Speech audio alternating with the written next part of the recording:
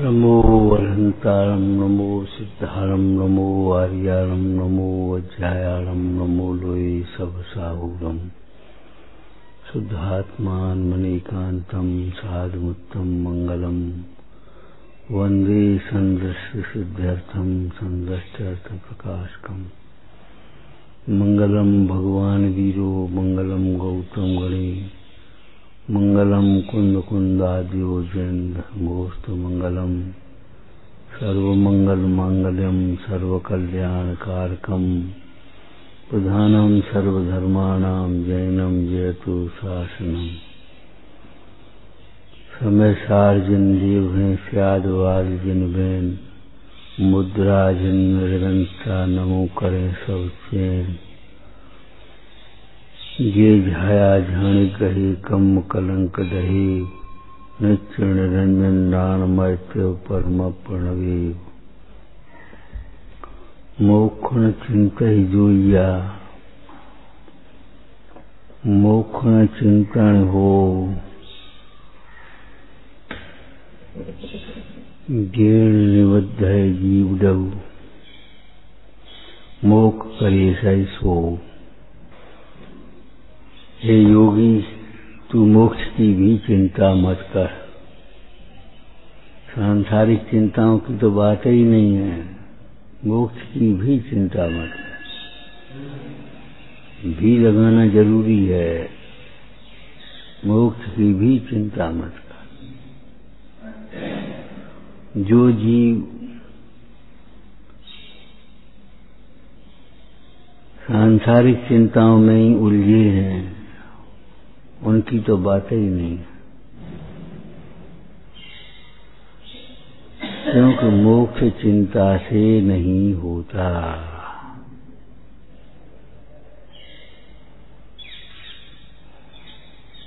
और बातें आपको बताई थी जब मोक्ष भी चिंता से नहीं होता, सांसारिक कार्य भी चिंताओं से नहीं होते। पुण्य के उदय में कार्य अपने आप बन जाते हैं। और पाप के उदय में कार्य के विकल्प करते रहो, नहीं होते। चिंता अज्ञानमय भाव है। चिंता करने वाले ने न अपने को जाना, न पर को जाना, न स्वतंत्र परिणमन को जाना। अज्ञानी है। चिंता अज्ञानमय भाव है। जो अपने को नहीं जानते और वस्तु व्यवस्था को नहीं जानते, वे ही चिंताओं में परेशान होते हैं। विचार किया जाए ये तो नीतिकारों ने भी कहा है, यम चिंतयाम। यम चिंतयाम। सततम ऐसा विरक्ता एकल चर्चाएँ चल इसकी चिंतन करते हैं, वो तो।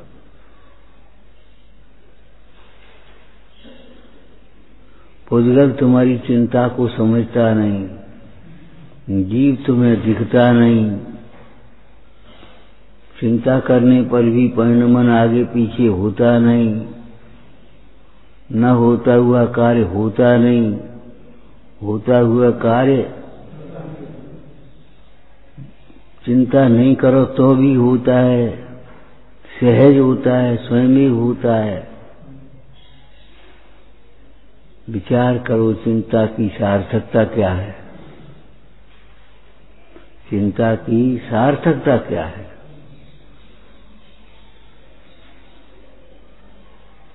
चिंता अज्ञानमय भाव है, और जो अज्ञानमय भाव होता है वह बंध का ही कारण है, दुख का ही कारण है।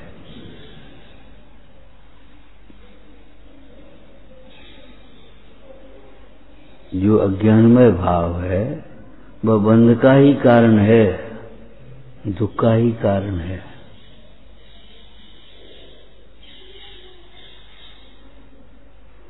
चिंता छोड़ करके पुरुषार्थ करना चाहिए। उपाय का विचार करना चाहिए।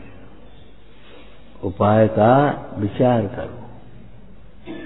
इस कार्य के लिए हमारे क्या बुद्धिपूर्वक उपाय क्या है?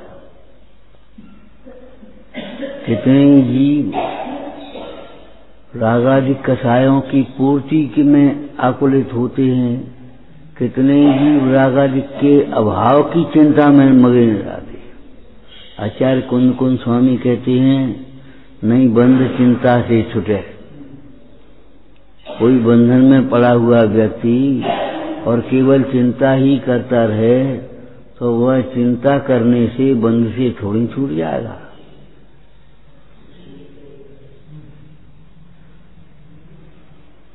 बंद छेदन का उपाय करेगा तो बंद से छूटेगा। बंद छेदन का उपाय नहीं करेगा तो बंद से कैसे छूटेगा? वह बंद छेदन का उपाय क्या है? कुन कुन स्वामी ने मुख्य अधिकार की गाथाओं में क्या लिखा?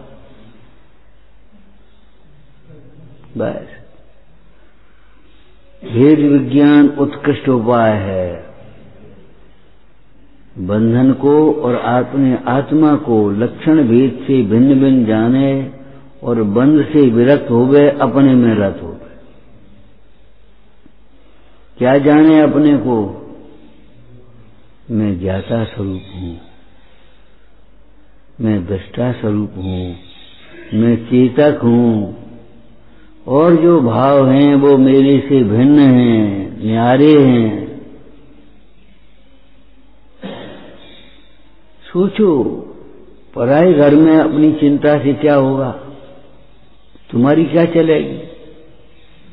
और अपने घर में चिंता कर करके क्या करोगे?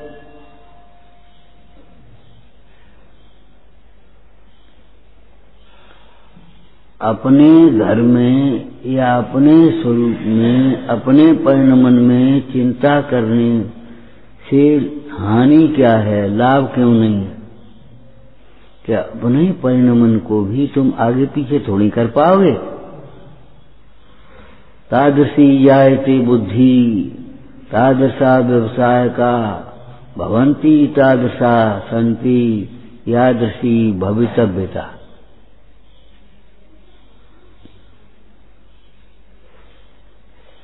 बहुत आदत पड़ी है दूसरों का दोष देखने की, दूसरों की चिंता करने की। विचार करो कि दूसरों का दोष देखने से या दूसरों की चिंता करने से क्या लाभ होगा तुम्हें?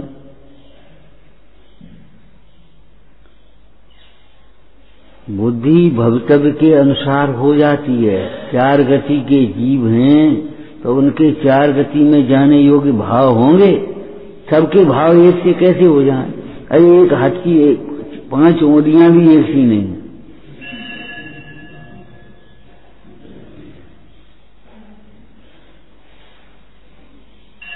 अपन लोगों की कह रहे हैं, दूसरों की नहीं कह रहे, जो बाहर बैठे जो यहाँ नहीं बैठे, उनकी नहीं कर रहे।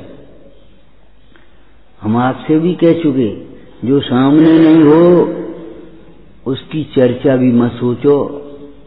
मत सोचो। उसके बारे में सोचो ही नहीं। जब वो सामने ही नहीं है तो सोचें क्या? बोलें क्या? अपना काम ज़िम्मेदारी से करो। दूसरे के काम में हस्तक्षेप मत करो।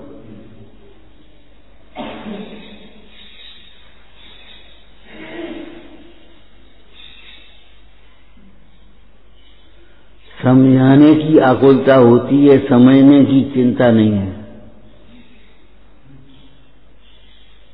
ये मोह की ऐसी छटा है कि हम अपने को सही माने बैठे। हम सही है।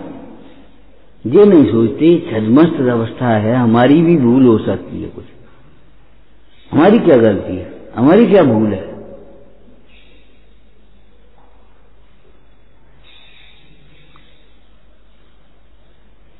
अरे भाई, हमारी भी गलती हो सकती है, और गलती क्या, हो सकती क्या है ही? जो हम अपने को अधिक दिखना चाहते हैं। ये हमारी भूल है। समझा नहीं बैठ जाओगे, चाहे कोई आ जाए, चाहे कहीं से आ जाए, चाहे कुछ करने लगे, समझा नहीं बैठ जाओगे। तुम्हें क्या लेना देना, तुम अपना काम करो। जब उस दिन भगवती आराधना की चर्चा सुनाई थी तुम्हें, कि संघ का ऐसा अनुशासन होता है, परस्पर में चर्चाएँ नहीं करती। परस्पर में चर्चाएँ करने से अनुशासन भंग होते आचार्य से चर्चा करो, परस्पर में चर्चा करोगे तो क्या करोगे? ये ऐसा है, वो ऐसा है, जी ये कर रहा है, जी ये कर रहा है, और यहाँ ऐसा है, वहाँ ऐसा है, बस। वो आचार्य से चर्चा करोगे तो अपने दोषों की करोगे, अपने गुणों की करोगे, अपने पूछ लेकिन नहीं। और आचार्य से भी फालतू चर्चा मत करना। प्रवचन सार जी ने एक विषय बताया कि गुरुओं की संगति करना ये अज्ञानी जीवों से, लौकिक जीवों से कहा। और गुरुओं से कहा, साधुओं से कहा, लौकिक जीवों की संगति मत करना। तुमसे कहना इनके पास बैठो और इनसे कहना तुम इनके पास मत बैठो क्या हो गया? बड़ी आफत हो गई। भिड़ा दिया एक तरह से। नहीं नहीं, भिड़ाया नहीं। लौकिक जीवों की मत सुनना, लौकिक जीवों के प्रति आकर्षित नहीं होना, उनके भोग से हो। ओ, मकान बढ़िया है, पैसा तुम पर बहुत है, फलाना ये है। छह अच्छा है तुम्हारा। अरे क्षयोपम अच्छा उसका मानना जिसका क्षयोपम अपने में लगे। जो पर में लगता है, वह क्षयोपम अच्छा नहीं होता। इसकी निगाह अच्छी है। अच्छी निगाह ये है जो अपनी ओर है। अपने दोष देख रही है, अपने गुण देख रही है, अपने में संतुष्ट हो रही है। अपने में लगने का प्रयास कर रही है, अपनी भावना भा रही वो निगाह अच्छी है।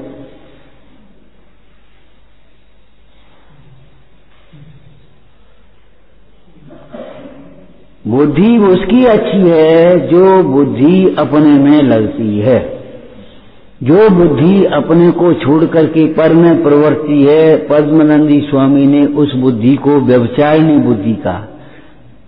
क्या व्यवचारिणी स्त्री को अच्छा कहा जाता है? बोलो। बोलो, कहा जाता हो। तुम्हारा मन अच्छा मानता है।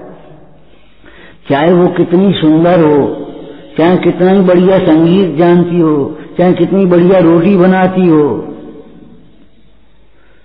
सारी कलाएँ आती हों उसको सब श्रृंगार की, कितने वस्त्र आभूषण हो, कितना ही सुंदर रूप हो, लेकिन नहीं।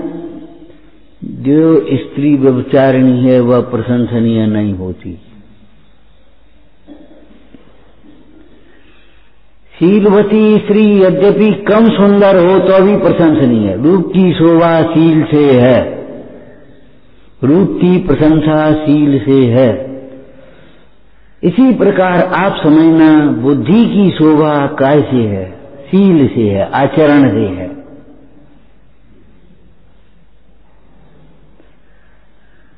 बैठ गए समझाने ये गुरु बन करके। हम समझा देंगे, हम कर देंगे, हमारे हिसाब से चलो। जब हमने आपसे कहा, पद्म पूजपा स्वामी कह रहे हैं, आत्मा का गुरु आत्मा है तो उसका अर्थ समझो।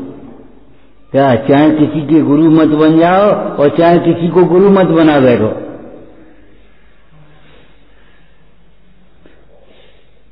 चाहे किसी के गुरु मत बनने लगो। और से बता देना निर्देशन करना, ये गुरुता तो है ही और है क्या? आचार्यत्व करता है काम भोग बंधन की कथा का। तुम कहाँ से आए? तुम्हारा क्या नाम है? तुम कितने पढ़े हो? तुम कौन हो? कहाँ करे अरे तुम्हें क्या लेना देना? ये काम इस व्यवस्थापक का वो करेगा अपना। तो वो नहीं करे तो हम कर रहे अच्छा कुत्ता नहीं भोंके तो गला भोंके। तो क्या होगा? डंडा पड़ेंगे कि नहीं पकड़ेंगे? नीति में लिखा है, जिसका कार्य उसको शोभता है और करे तो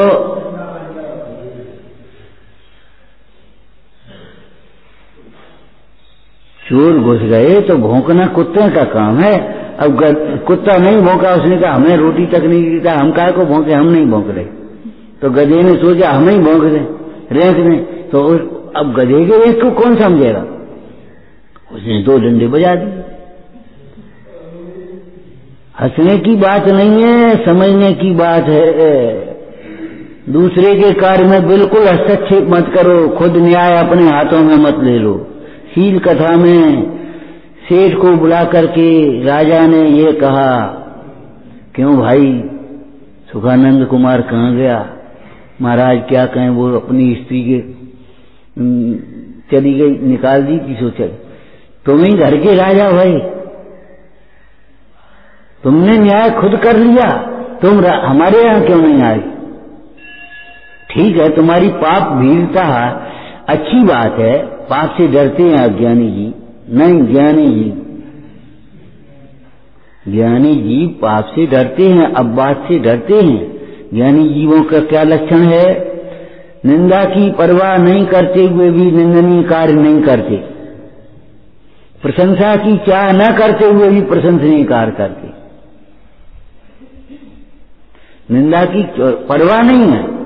ले, उसको निंदा को अपने कर्म का उदय समझ करके क्षमता से सहते हैं। लेकिन फिर भी निंदनीय कार्य नहीं करते।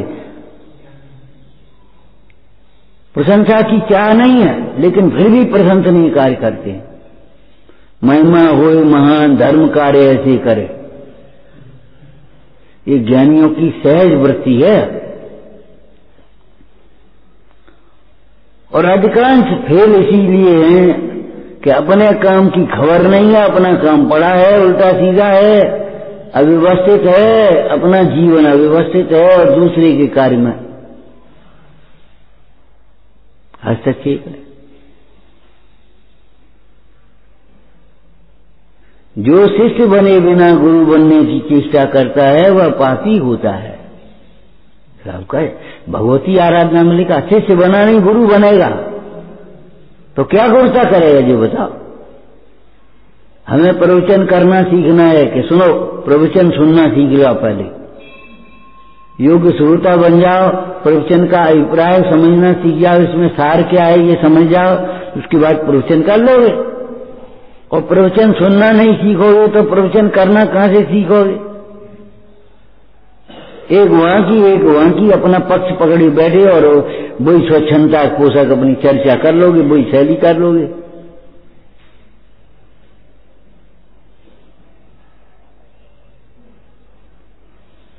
शिथिलाचार पोषक वचन या स्वच्छंदता पोषक वचन असत्य वचन है।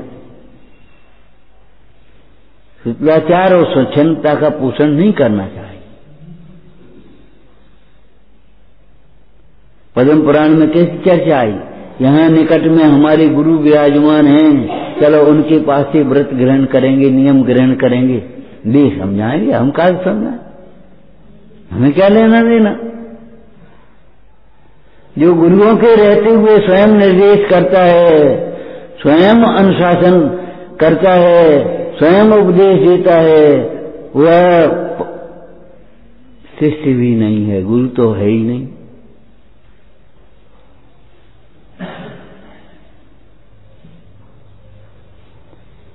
शील कथा में यही तो कहा राजा ने, ठीक है, तुम डर के मारे, जो कुछ कर बैठे, लेकिन तुमने खुद न्याय क्यों कर लिया? तुम राजा यहाँ क्यों नहीं आए अब ठीक है, तुम्हारे लिए यही दंड है कि सुखानंद कुमार को ढूंढ के लिया। ज़्यादा दंड नहीं दे रहे, तुम्हारा अभिप्राय खोटा नहीं है इसलिए। लेकिन अभिप्राय क्या? ये खोटा काम है कि स्वयं मुखिया बन गए। जबरन मुखिया बन गए। और तुमने अपने आप वो मनोरमा को निकाल दिया। और सुखानंद कुमार ने सुना सो वो भी निकल गया।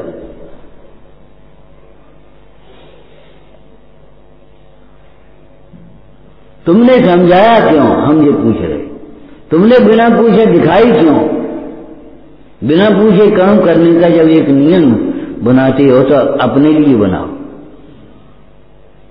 अगर इतनी बात पूछ ले हमें वो बिना माता पिता के बच्चे, वो कहानी दिखानी है स्टोरी दिखानी है फ़िल्म दिखानी है तो हम मने कर देंगे क्या? लेकिन नहीं, आपस में लड़ मरोगी। वो कहेंगे, फिल्मकार को दिखाई वो कहेंगे इसमें क्या हो गया? और अनुशासन भंग अब अब कब हो अब क्या करोगे? सब तुम्हारे अनुसार नहीं चलेंगे। अगर तुम पूछ लो हमको वहाँ जाना है, इस कार्य के लिए वो बुला रहे हैं, हम चले जाएँ कि नहीं चले जाएँ, आप बता दो, हमारे हैं? तो हम क्या मना कर दिए। लेकिन नहीं, हम बस प्रोग्राम बन गया हमारा। प्रोग्राम सेट है, वो फलाना हो गया फलन तारीख को जा रहे फलन तारीख को आ रहे।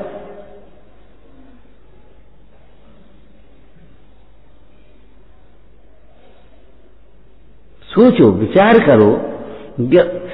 सही नहीं होना वही तो गलत है। बिना पूछे काम करना गलत है कि नहीं? बिना पूछे काम सही करना भी गलत है। बिना पूछे क्यों किया? मतवाला माता को माता भी कहे तो सयाना तो नहीं है। न कह दो सयाना है। अभिमानी बिना पूछे सही काम भी करे तो भी गलत है। क्यों? अनुमान गलत है, बिना पूछे किया क्यों उसने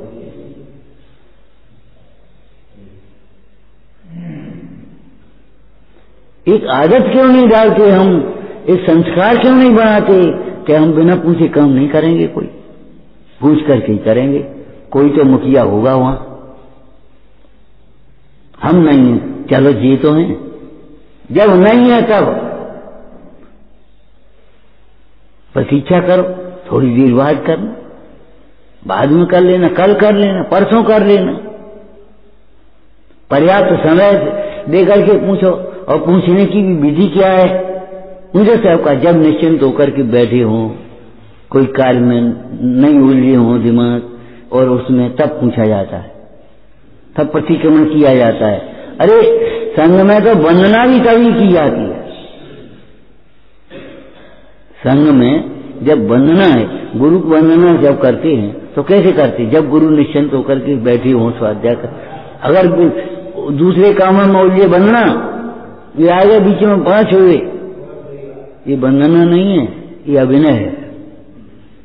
अंतराय है? है कि नहीं?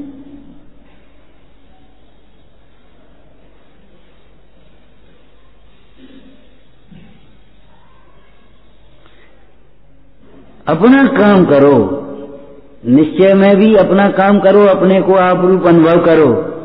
और व्यवहार में भी अपना ही काम करो, पर का काम मत करो। ये काम हमारा नहीं है। लक्ष्मण कह रहे हैं न्याय न्याय, हमारा भाई राम जान है। हमारा काम तो उसकी सेवा करने का है, वन में जाता है तो हम वन में जाकर के सेवा कर देंगे, हमें क्या फ़र्क पड़ता है? नहीं, यहाँ रहो तो सेवा करेंगे हम। तो अपनी शर्त लगाओगे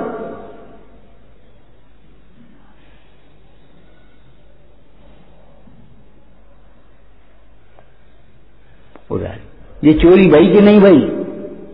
कि का चोरी है? अरे, जामे का चोरी। अब लड़ मारे आपस में। इसमें क्या चोरी हो गई? अब वो कह रहा बिना पूछे उठाई से चोरी हो गई। अरे भाई, अभिप्राय को समझना चाहिए और विवाद में नहीं उलझना चाहिए।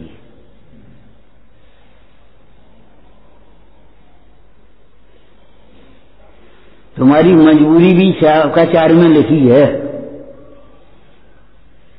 अगर गुरुजन नहीं हो और कार्य करना हो तो कार्य करे विवेक पूर्वक परंतु जितनी जल्दी उनको बता सके, उतनी जल्दी बता दे। अब तुम चार चार दिन नहीं बचाओ लड़ो। और फिर कहो कि ऐसा होता है, ऐसा होता है। सारे वातावरण खराब करो तो क्या करेंगे? और जे चुप जे चुप चुप। वो टेम ही नहीं है। टेम होगा ही नहीं।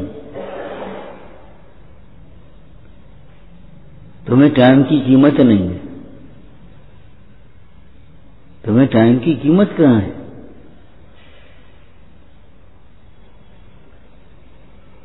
अरे तुम्हारी शिकायत कोई दूसरा करे, ऐसा अवसर मत दो। तुम अपने दोषों का स्वयं निवेदन करो। तुम अपनी गलतियों को स्वयं बताओ। ये कहें कि ये ऐसा कर रहा है, इससे कलंक की बात क्या है? तुम्हारा साधक पना नहीं है फिर।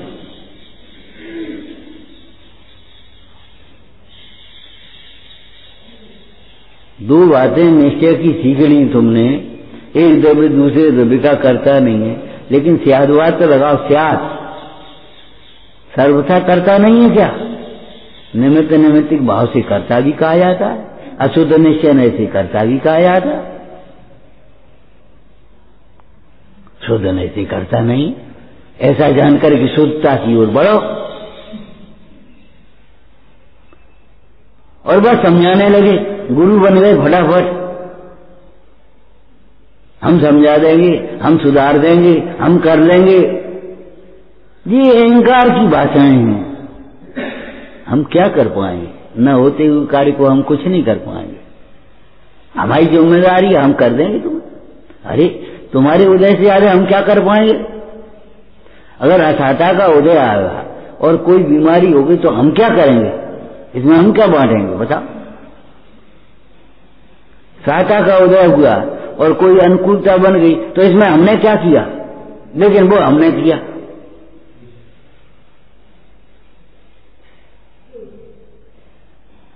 हे भाई, तुम इन विकल्पों की चिंता माने सर्व विकल्प विकल्पों की निरर्थकता का भली प्रकार विचार करो। बारह भावनाओं का अध्रुव अनित्य शरण का बारंबार विचार करो। ये नहीं है कि एक दफे पढ़ ली। हमने पाठ किया था।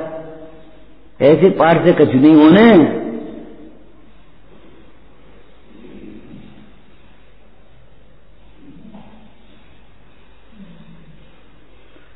स्वाध्याय नहीं करने वाले तो भूल में हैं, लेकिन परलक्ष्य से स्वाध्याय करने वाले भी पापी हैं। स्वलक्ष्य से स्वाध्याय करो।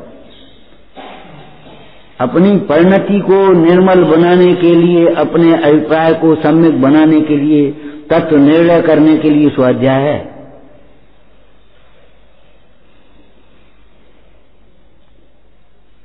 आपको एक दृष्टांत दिया था। देखो, श्रावक अपने लिए भोजन बनाता है, उसमें से मुंदाज को जीता है। ये विधि है। ऐसे ही आप अपने लिए स्वाध्याय करिए औरों को रुचवान देगा तो उनको भी सिखा, बता दो, कोई बात नहीं।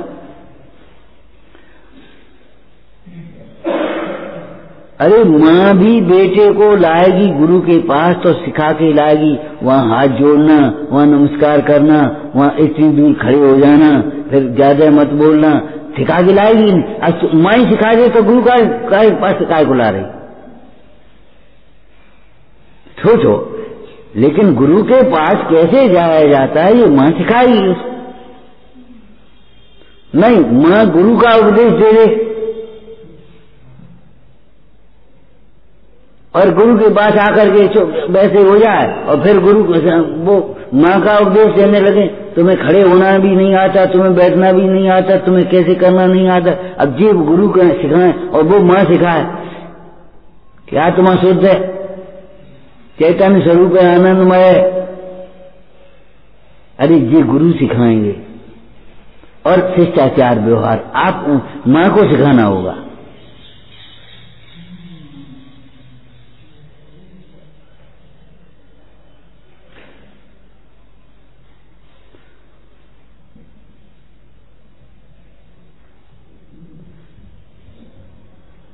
चिंता अज्ञानमय भाव है। चिंता से अज्ञान ही बढ़ता है। चिंता करने वाला जीव अपने अज्ञान को ही प्रकट कर रहा है। अज्ञान में ही चिंता हो रही है। अब जब अज्ञान से होने वाली चिंता हाँ भाई, अब आगे बोला पूजपा स्वामी का उपदेश।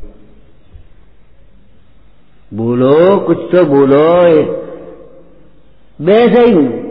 इतनी दूर से चले आए।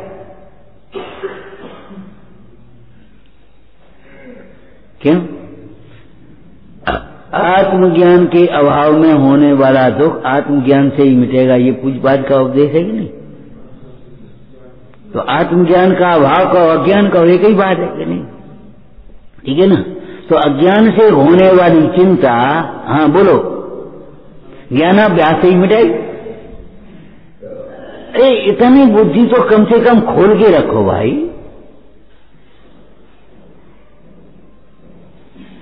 आत्मज्ञान के अथवा अभाव में होने वाली चिंता तत्व ज्ञान के अभाव में होने वाली चिंता, ज्ञान अभ्यास से ही मिटेगी और कोई उपाय भी नहीं है।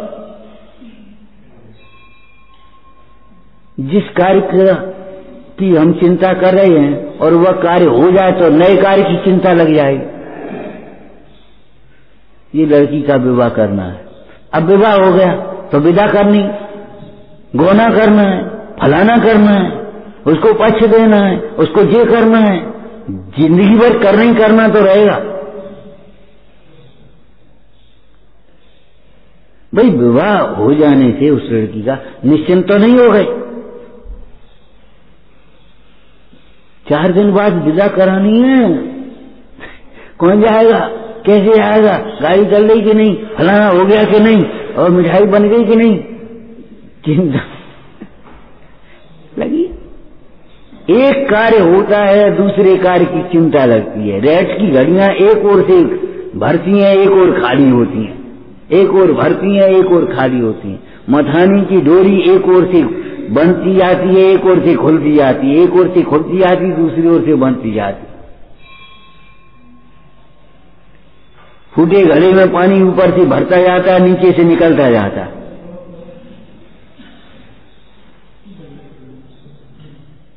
सब भगवती आराधना के दृष्टांत हैं।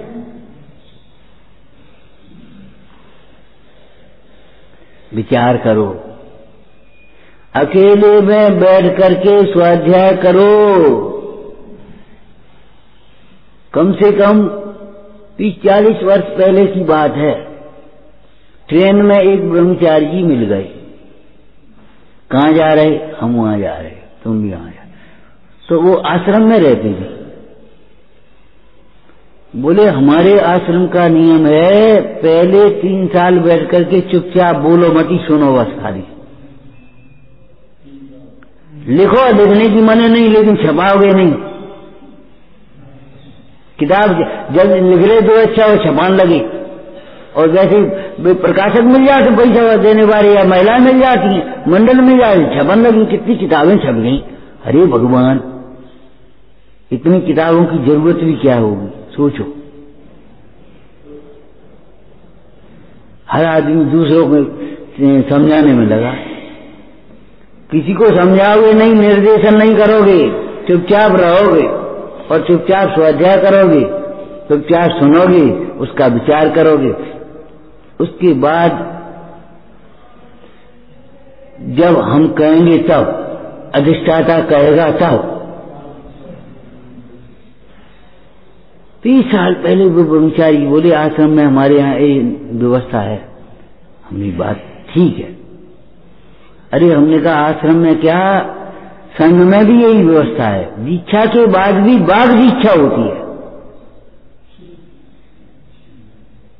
तुम्हें बोलने का अधिकार दे किसने दिया?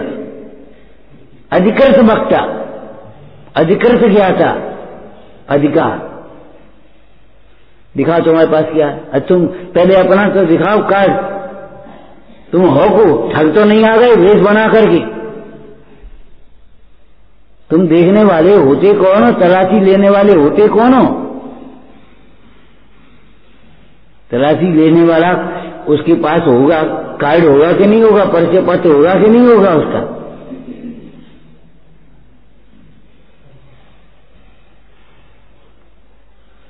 इनको तलाशी लेने का अधिकार है। अब आप रहे भाई कहाँ से अधिकार मिला तुम्हें?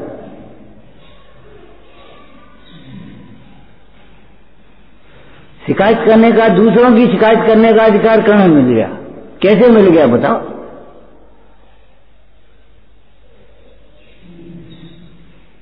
अरे, सवेरे ही पहुँच गया वो। हम ऐसा करते हैं, हमने तुम कछू मत करो। बात तो ठीक है, बस चल रहे बढ़िया। हमने कहा, बेटा, अभिमान से जो करोगे, सो ही गलत करोगे। सही भी गलत है तुम्हारा। अभिमान से किया गया, सही कार्य भी गलत ही है।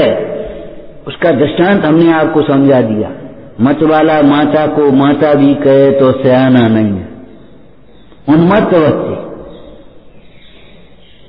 मत वाला माता को माता भी निकल जाए मुँह से तो उसे कौन, उसे माता किसको कहते और पत्नी किसको कह रहे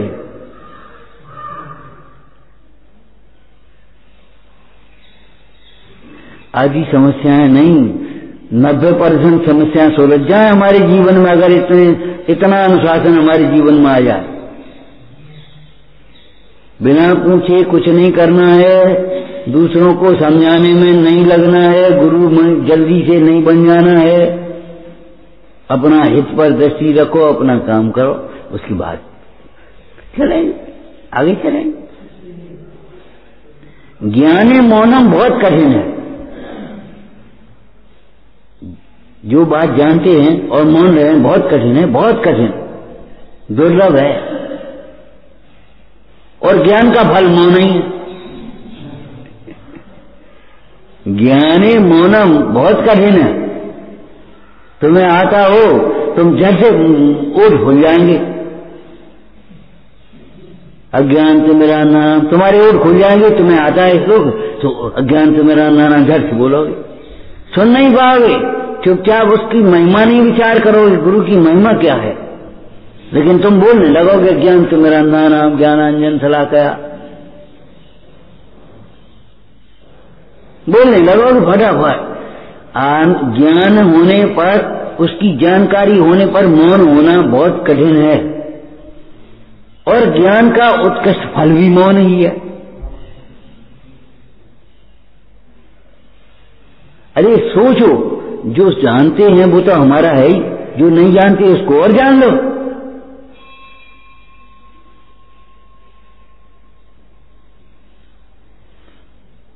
मौन कहाँ रहना चाहिए, कब रहना चाहिए, किस लिए रहना चाहिए, वो समझो आप। जहाँ विवाद के प्रसंग हो, वहाँ मौन हो जा।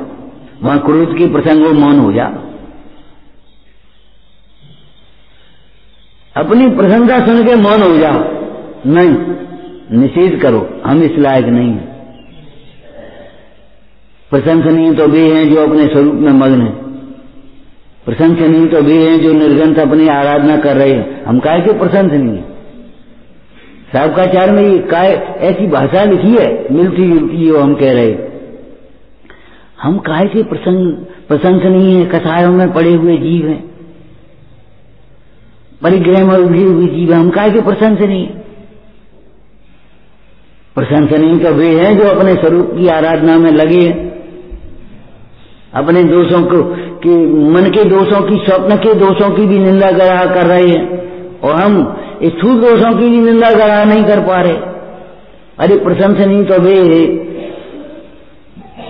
सीता को निर्दोष जानते हुए भी निर्दोष परंपरा के लिए उन्होंने वनवास दे दिया राम ने। हम धर्म की प्रभावना के लिए अपने दोषों को नहीं छोड़ पा रहे।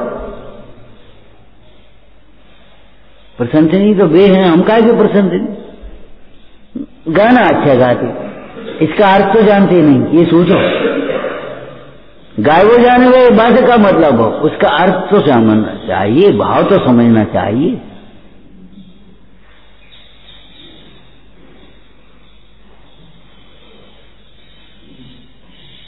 और पढ़ने को पढ़ोगे, पाठ वो बहुत इतनी मंद कथाय हो उसका न करूँ अभिमान। कभी लक्ष्य पूर्णता का अपना कर समुपरी से दुख सभी।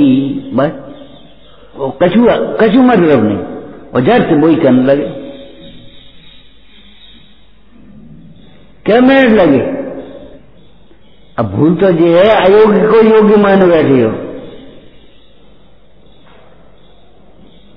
हमने उस दिन कहा था कि तुम जिसको तुम अभिनय है, उसको विनय मान बैठे हो। गलत है, वो सही मान बैठे हो।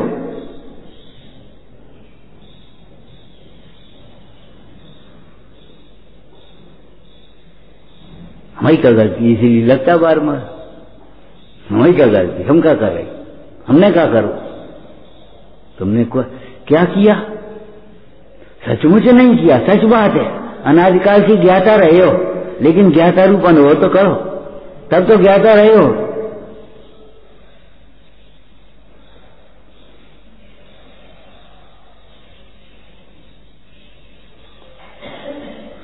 तुम्हें क्या करना चाहिए, ये मत देखो, हमें क्या करना चाहिए? तुम ज़ोर से भी बोल जाओ तो हमें सहन करना चाहिए अपने उदय विचार करके। तो अब हमने सहन नहीं करी तो हमने हमारी क्या गलती कह रहे उत्तेजित हो रहे यही तुम्हारी गलती है। हमारी क्या गलती हमारी क्या गलती यही तो गलती है।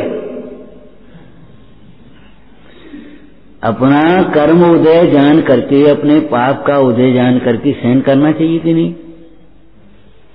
जो घटना तुम्हारे सामने घटी, जो शब्द तुम्हारे कान में पड़े, जो दृश्य तुम्हारी आँखों के सामने देखा, वो तुम्हारे उदय के बिना तो नहीं आया। है कुछ तो उदय तो है ही तुम्हारा। अब उदय को न देख करके और उदय में जुड़े वो तुम्हारा वर्तमान का दोष है कि नहीं? अब वो तुम कह रहे, हमारी क्या गलती हमारी क्या गलती यही गलती हमारी क्या कमी है? यही कमी है जो अपने में तुम कमी देख रहे हो। और अहंकार से पूर्णता देख रहे हो। दिखाने के लिए कमी कह रहे हो। अरे स्वाभाविक पूर्णता को देखो। और वर्तमान पर्याय की कमी देख दे कमी कमी कमी की तो है, और कहा है? बताया था ना, ऊँट की गर्दन को देखकर गर्दन कैसी टेढ़ी है, तुमने देखो कहा, पाँव टेढ़े पत्नी चालू टेढ़ी है, सब काम टेढ़े टेढ़े जब मोह की दशा में तुम सोचोगे, हमारी कमी क्या है तो तुम दूर करने का उपाय क्या करोगे? मैंने पूरा योग व्यवहार लिखा श्राव का चार में। श्रावक के योग व्यवहार लिखा कि नहीं? श्राव का चार कितने दिन से नहीं पढ़ो? बहुत दिन से नहीं पढ़ो, हम समय सार पढ़ रहे नियम से ही पढ़ रहे अरे वो अंतर का व्यवहार है। वो बाहर का व्यवहार है।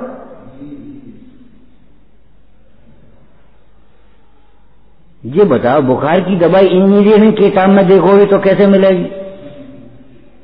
और दिन कितनों मॉडल उनकी डॉक्टरी किताब में देखो तो कहाँ मिलेगी? समाचार में तो ये लिखेगा, आत्मा बोलता नहीं है। लेकिन बोलना जब होता है, तब कैसे बोलता है, ये तो सबका चार में लिखा होगा। अब तुम पढ़ोगे नहीं सबका चार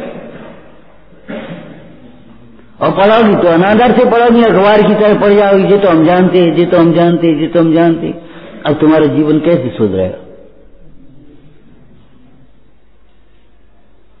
तुम उसका ज्ञाता मान बैठे और एक और मान्यता खराब हो गई गीतो अनंत बार किया। तो अब अब बिना करें कर्म चाहता ये तो अनंत बार किया। अनंत बार भले किया हो, लेकिन परमार्थ को समझने के लिए यही करना होगा पहले। भले अनंत बार करो, सवेरे चूल्हा जलना। लेकिन चौकड़ा में रोटी बनाए हुए के चूल्हा जलाना पड़ेगा। अब सवेरे चूल्हा चूल्हा तो सवेरे चल रहा है। अरे सवेरे चल रहा तो पानी गर्म हो ताप रहे। हैं, और काम हो रहे। बात का मतलब? इसका मतलब बिना चूल्हे की रोटी बनाओगे क्या? ये कोई बात रही मैंने इतने छल ग्रहण करे हैं, इतनी अपनी कसायों के पोषण में लगे हैं, कि किसी को समझना नहीं चाहते।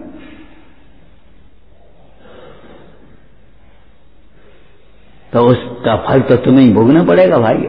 दूसरा तो नहीं गया और फिर चिंता में पड़े, टेंशन में पड़े। घुटन हो रही है, कुंडा हो रही है।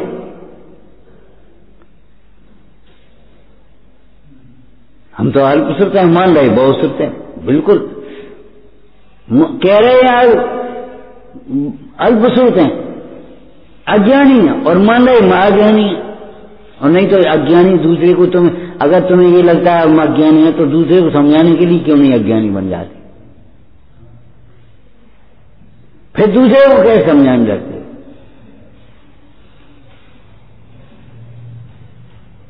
फिर क्यों जो मानते हो कि हम बढ़िया चर्चा कर लेते हैं?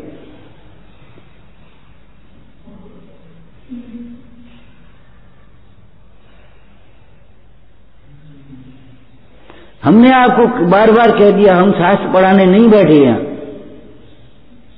शास्त्र तो आप पढ़ लोगे, कोई दिक्कत नहीं। अध्यापक प्राइमरी में बच्चे को आ आ ई सिखा देता, किताब पढ़ने का अपने आप सीख जाता वो।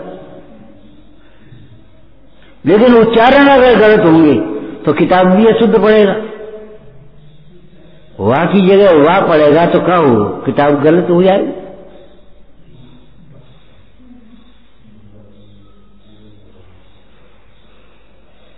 बहुत बहुत ज़्यादा मेहनत करनी पड़ेगी बच्चों को। हम जानते बैठ के लगानी पड़ती थी प्राइमरी मास्टर को। टाट पट्टी पे बैठते थे बच्चे। अब उसको, उसके पास बैठे, फिर उसके पास बैठे, फिर उसके पास बैठे, फिर उसके, फिर खड़े हुए, फिर बैठे। एक एक बच्चे को देखना पड़ता है। हँसते हो तुम? अब तो कुर्सियों पर बैठते हो, इसलिए क्या कहें हम?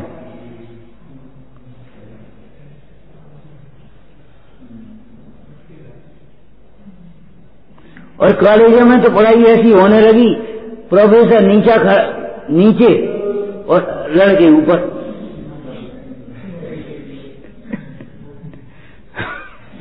आज जो ऊपर बैठ के पढ़ेगा तो क्या पढ़ेगा, बताओ। हम ये पूछ रहे, पहली गलती भूल हो गई वो साहब दिखाई नहीं देते। अरे दिखाई नहीं देते, तुम देखना जानते ही नहीं।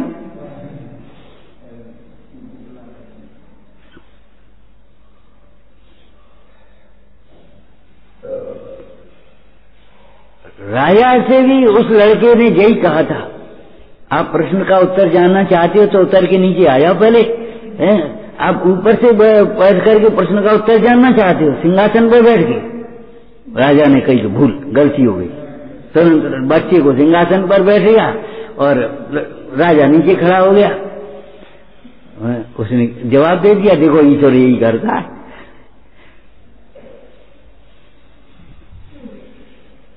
राजा को खड़ा कर दिया और अपन इसको सिंहासन में बैठा दिया।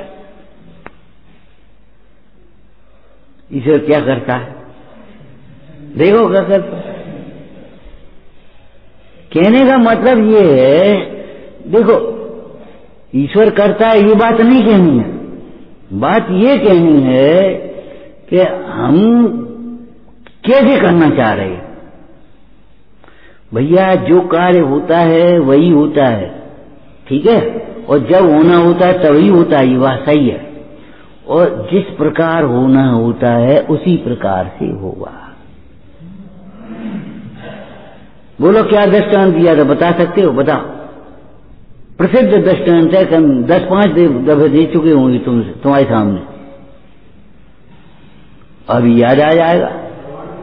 फ़सल। गेहूँ की फ़सल चैत के महीने में आती है। ठीक है ना? लेकिन भले आदमी उसके खेत में आती है जिसके बीज जिसने बीज बोया है। हर किसी खेत में आ जाएगी। जिसने योग समय पर बीज बोया है, योग समय पर सिंचाई की है, योग समय पर निराई की है, योग समय पर देखभाल की है उसने, निगरानी की है, उसकी फ़सल आती है। अब जिसने न पाड़ बांधी, न बीज बोया, न उसने सिंचाई करी, सूख रही है तो सूख रही है फ़सल न उसने निगरानी करी, उसके खेत में क्या आएगा भैया? अब वो बैठा रहे। देखो गेहूँ की फ़सल मार्च में आती तो मार्च में आएगी, अभी तो दिसंबर है क्या करने अरे अभी बीज बोना है। बोला दस नंबर दृष्टान दिया है कि ये तुम्हारे सामने के नहीं दिया? दस बार दिया होगा तुम्हारे सामने से, कम से कम। गेहूँ की फ़सल चैत में आती है बस? जब जो होना होता है, सो होता है। अरे, जब जो होना होता है, वो पाँच समवाय को गौण करके, फिर एक समवाय को मुक्त करके कहो, चार समवाय गौण करो, निषेध मत करो। जब होना होता है, तब ही होता है। लेकिन पुरुषार्थ पूर्वक होता है, योग निमित्त होता है, जिसका जो स्वभाव है, सो ही होता है। ऐसा थोड़ा ही है कि स्वभाव नहीं है, सो हो जाता है। इस चौकी कभी ज्ञानी हो जाती, रोज टाइम से बैठती है। चौकी कभी ज्ञानी नहीं होती, और तुम बेटाइम बैठोगे तो ज्ञानी नहीं होगे। तुम्हें ज्ञानी होना है तो टाइम से बैठो। लेकिन चौकी सब चौकी तो टाइम से बैठती है। और चौकी से क्या मतलब तुम्हें? उसका स्वभाव ही नहीं है ज्ञान। वो ज्ञानी थोड़ी हो जाएगी। ये चौकी का दृष्टांत देकर के तुम अपने परमार्थ का पोषण करना चाहते हो क्या?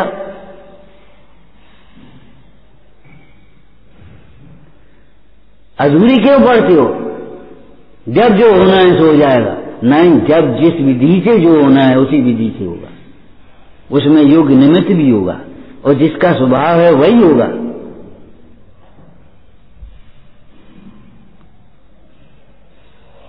जैसे सीखा जाता है, वैसे ही सीखा जाएगा। कोई अभिमान से आज तक सीख पाया? बताओ भाई। जितने भी सीखे हैं, वो विनय से ही सीखे हैं। जिज्ञासा से ही सीखे हैं। मेहनत करके सीखे हैं। एकाग्रता से सीखे हैं। और तुम अभिमान से सीखो, और चंचलता से सीखो, और प्रमाद से सीखो तो सीख जाओगे। सौ साल में नहीं सीखोगे। और मान लोगे हम छह उपसम तुम्हारा ज़्यादा हो तो मान लेगा कि बस हम सीख गए। शब्द याद होने से अगर सीखना हो जाता, समझना हो जाता तो ये दुष्टर क्यों कहते पाठ याद नहीं है हमें। इतना याद नहीं हुआ, क्रोध नहीं करना। कि क्रोध का कोई प्रसंग नहीं बना तो क्रोध नहीं हुआ, इसमें क्या हो गया? क्रोध का प्रसंग बने और क्रोध न हो गए, आ, याद हो गया। तुम इस इंद्रिय ज्ञान को, इस शाब्दिक ज्ञान को ज्ञान माने बैठे हो।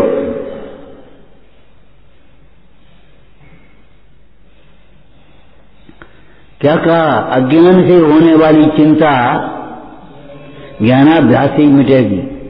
और देखो, यहाँ अज्ञान का अर्थ, बाह्य ज्ञान का अभाव नहीं, आत्मज्ञान का अभाव है, तत्व ज्ञान का अभाव, ठीक है ना? बाहर की लाइट जला देना। ए भैया, ये लाइट जलाई दी और भक्के गए और मंदिर के बाहर बाहर लाइट जलाया है। तो क्या मतलब नहीं करो बाहर की लाइट से भीतर का उजाला कैसे हो जाएगा, अंधेरा कैसे मिटेगा तो आत्मज्ञान के बिना होने वाला दुख बाह्य ज्ञान से भी कैसे मिटेगा? इंद्रिय ज्ञान से कैसे मिटेगा? शास्त्रीय ज्ञान से कैसे मिटेगा?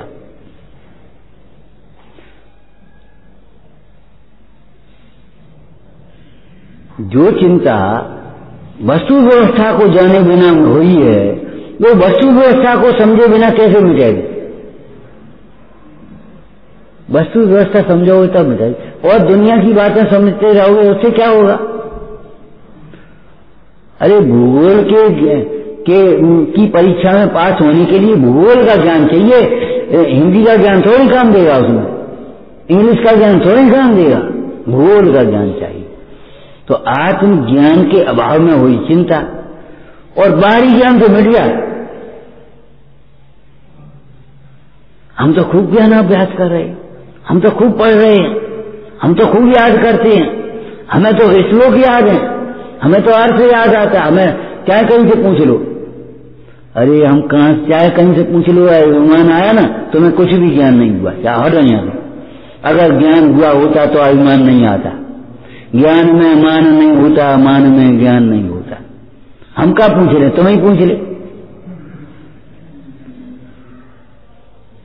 अगर ज्ञान है तो फिर चाहे कहीं से पूछ लो, ये बात कहाँ से आती? ये रोग कहाँ से आता? ये अभिमान कहाँ से आता? इसका मतलब है, अभी ज्ञान नहीं हुआ, फिर दोबारा पढ़ो। अरे एक एक इंद्री वृक्ष है, उस पर भी फल आते है तो नम जाता है। तुम्हें ज्ञान हुआ तो तुम्हारा मान नहीं टूटा, नमे नहीं तुम। अज्ञानी को जितना पढ़ता है, सुनता है, देखता है, करता है, घूमता है, फिरता है, अहंकार बढ़ता है, ज्ञान नहीं होता, ज्ञान है ही नहीं। अज्ञानी को ज्ञान ही नहीं है, उसको ज्ञान बढ़ेगा क्या? और मान लेता है, हमें बहुत ज्ञान हो गया।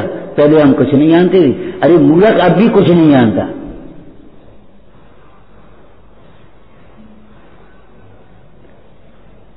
बिजली का तार जब तक इतना दूर हो, चाहे इतना दूर हो, चाहे इतना दूर हो, लाइट तो नहीं जलेगी।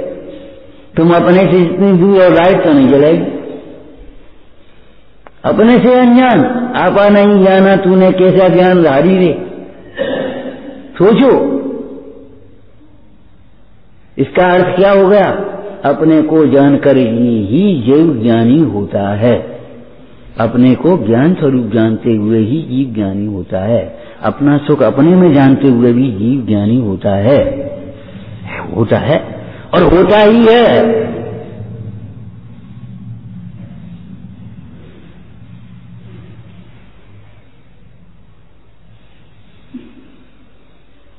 तुमने ये सोच लिया कि कब और के लिखो। छल गराई सुरता अब छल है कि नहीं है बताओ। हम योग्य व्यवहार करेंगे, हम संकोच छोड़ेंगे, ये सब में सारे वाक्यों में छल है कि नहीं है ये बता रहे ईमानदारी उसके बाद सोचोगे भी नहीं, योग्य व्यवहार क्या है? हम तो कह आए, हमने कह दी। उसके बाद सोचोगे भी नहीं, योग्य व्यवहार क्या है? संकोच क्या है? जानते संकोच। एक बहू आई, विवाह होकर के आया। अपने लड़की थी तो वहाँ अच्छे भजन गाती थी। तो उनको मालूम था गाँव वालों तो वो शास्त्र में बैठ गई। उन्हें ये बेटा, भजन गा अब वह संकोच कर रही। और वहाँ खड़े होकर बातें कर रही, हम संकोच नहीं कर रही। मैंने भजन गाने में संकोच आ रही। और दरवाजे के बीच में खड़े होकर बातें कर रही संकोच नहीं है। परिचितों की इतनी घूंघट कर ली और वैसा मुँह खोले फिर रहे। संकोच है जी। जी, संकोच है।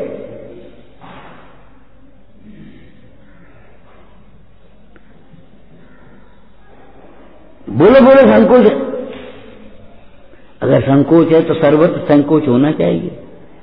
हैं? मैंने कहा, बेटा, रोटी खा लो कि भूख नहीं है कि कचौड़ी बनी है तो लाओ एक दे दो। झूठ बोलता है, भूख नहीं है, भूख नहीं होती तो आप भूख कहाँ से आए हो?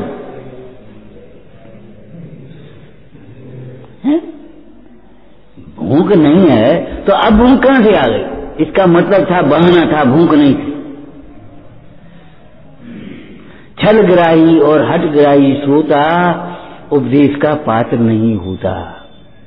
नहीं होता, उपदेश नहीं होता, समझे में आए बैठे फिर चिंता में पड़ जाना, फिर टेंशन में पड़ जाना, बस पड़े रहना। कुंठा में बीमार हो जाना घुट घुट करके और कुछ नहीं होगा। अरे, ये मजबूरी की बातें हैं। शौक की बातें नहीं है कि हम यहाँ बैठे हैं। अब तुम सोचा हमें कब गद्दी मिल जाए? अरे कहा करना गद्दी को? ये गद्दी हमारी गद्दी सबसे बढ़िया है। कहा लेने देने हमें? हमें कहा लेने देने सुनाए बिना अनेकों जीव तिर गए। मुख चले गए कि नहीं? लेकिन सुने बिना कोई गया हो तो बता दो। सुनाए बिना तो बहुत से जीव मुख चले गए। लेकिन मुख केवली होते ही नहीं। अंतकृत केवली होते हैं, उपसर्ग केवली होते हैं।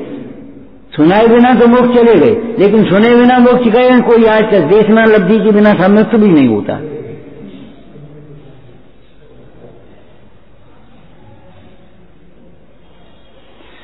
विचार करो भाई, चिंता अज्ञानमय भाव है। ये चिंता हमारी मिटे कैसे? इस बात को सोचो, तम उपायम विचिंत उसके उपाय का चिंतन करो। ये चिंता वस्तु व्यवस्था को समझने से मिटेगी। और कोई हम हम सोचें, ये लड़का सुधरेगा कैसी सुधरेगा कैसी? ये तो बड़ा ढीठ है, ऐसा है, वैसा है। तो भैया, सुधर, तुम्हारी चिंता से थोड़ी सुधर जाएगा। जब उसका समय आएगा, वो सुधर जाएगा। तुम्हारे विकल्प से कुछ नहीं होगा। बस खत्म मामला।